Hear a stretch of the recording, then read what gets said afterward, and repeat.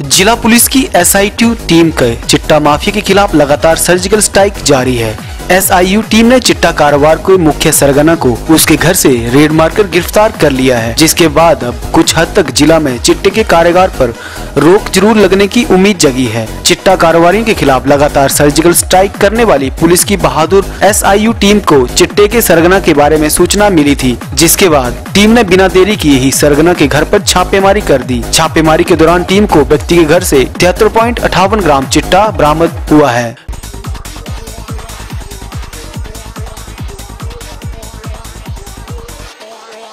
नशे का कारोबार करने वाले युवक की शिनाख्त, पुनीत कुमार उर्फ़ पुन्नू, पुत्र जोगिंद्र पाल, गाँव व डाकघर पंचगाई उम्र 36 वर्ष, जिला बिलासपुर के रूप में हुई है। टीम ने इस व्यक्ति को गिरफ़्तार कर एनडीपीएस की धारा 21 के तहत मामला दर्ज कर आगामी कार्रवाई शुरू कर दी है। बिलासपुर एसपी साक्षी वर्मा ने बताया की नशे का कारोबार करने के खिलाफ प्रदेश सरकार के आदेशों के चलते पूरे प्रदेश में एक विशेष अभियान चलाया गया है, जिसके तहत नशे का कारोबार करने वालों के खिलाफ पुलिस कार्रवाई कर रही है। उन्होंने बताया कि नशे का कारोबार करने वालों के अड्डों का पता लगाया जा रहा है और छोटे से छोटे, बड़े से बड़े स्पाई को पकड़ा जा रहा है। पिछले कल पुलिस को भारी मात्रा में चिट्टा बरामद हुआ है।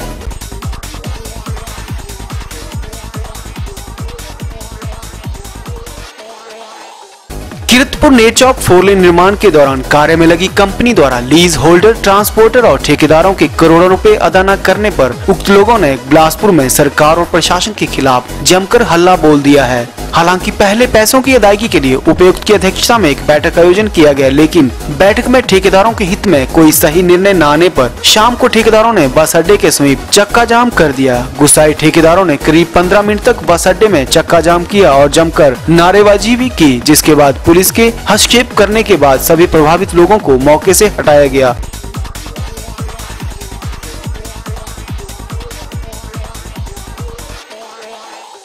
और यातायात को बहाल करवाया गया। बिलासपुर एसपी साक्षी वर्मा ने बताया कि ठेकेदारों द्वारा एनएच मनाली, चंडीगढ़ पर कुछ समय के लिए चक्का जाम किया था।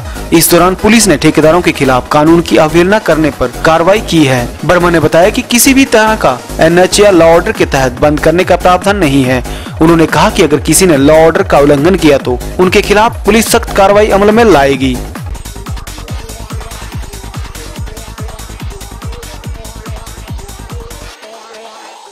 हुआ है इसमें कि एनएच कुछ समय के लिए ब्लॉक किया गया था। उसमें पुलिस ने कल ही अपनी एक्शन ले लिया था और पुलिस की कार्रवाई उसमें जारी है।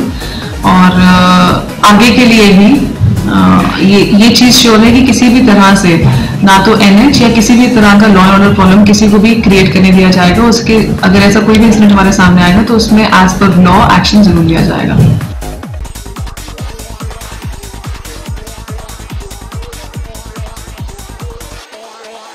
स्कूली छात्रों को सामाजिक जीवन में अनुशासन के साथ, जीने के साथ भी स्वच्छता के पैमाने पर खरा उतरने और नशे से दूर रहने की शिक्षा देने के मकसद से राष्ट्रीय सेवा योजना के तत्वाधान में मुख्यमंत्री, आदर्श वरिष्ठ माध्यमिक बाल विद्यालय बिलासपुर में राज्य स्तरीय युवा नेतृत्व शिविर का आयोजन किया गया है।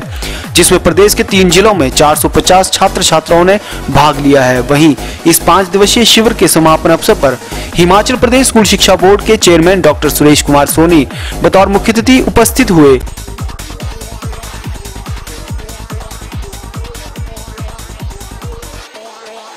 वहीं समापन अवसर पर जहाँ सांस्कृतिक कार्यक्रमों की प्रस्तुति दी गई तो साथ ही एनएसएस के राज्य समन्वयक दिलीप ठाकुर ने राष्ट्रीय सेवा योजना द्वारा आयोजित शिविर की रिपोर्ट पढ़कर विभिन्न गतिविधियों की जानकारी भी दी।